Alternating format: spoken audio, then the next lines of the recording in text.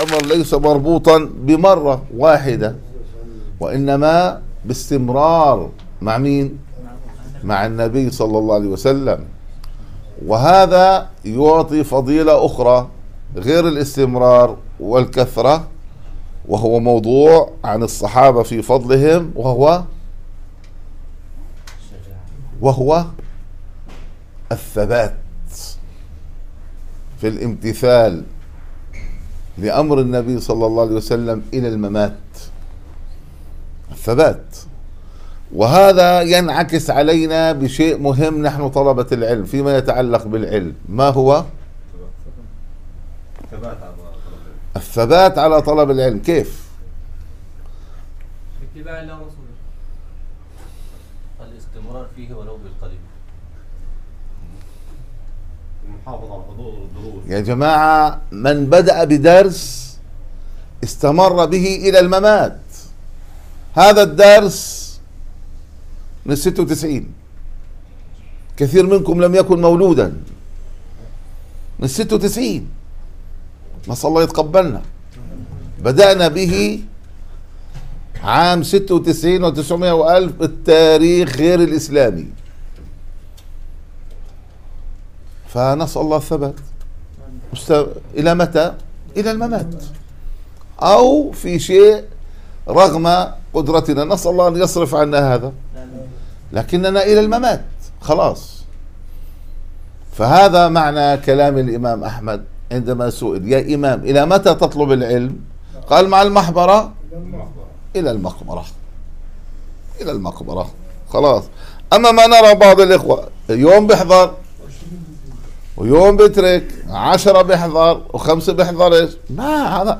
لن تصبح طالب علم وإن لطخت وجهك بالمداد. ثبات. خلاص. ثبات على العلم. إلى متى؟ إلى الممات. هذا العلم كما قالوا إن أعطيته كلك أعطاك بعضه. إن أعطيته كلك أعطاك بعضه فكيف إذا أنت أعطيته إيش؟ بعضك.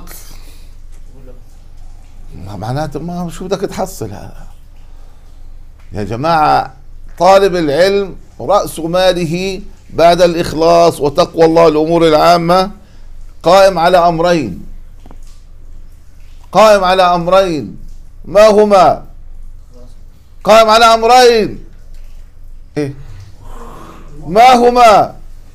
واحد. الوقت. الوقت.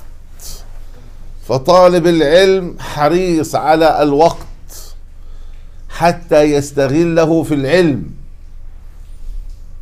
أدركت أقواما يا جماعة. إذا أراد أن يذهب ليشتري كتابا أخذ كتابا معه من البيت حتى يقرأ في الطريق حتى لا يضيع وقته لكي يشتري الكتاب انظر. فهو يقرأ في الطريق فإذا وصل وشرى الكتاب تابع القراءة. اغتنام الأوقات. فطالب العلم المباحات عنده قليلة. ما في طالب علم شو رأيك نروح على مزرعة وناكل ونشرب ونتمتع ونقعد نهار كامل هذا ما بنفع مع طالب العلم. مع إنه مباح. والسبب اغتنام الوقت في العلم. ممكن يصير زي ما كان يفعل شيخنا الألباني يصطحب طلبة العلم. فما يتوقف في تدريس الناس إلا عند تناول الطعام. أما باقي الأوقات منشغل بتعليم الناس. اغتنام الوقت. وكان شيخنا الألباني يقول أنا كالمنشار إذا درست بستفيد وإذا توقفت بقرأ بستفيد. كالمنشار يعني رايح باكل وراجع باكل.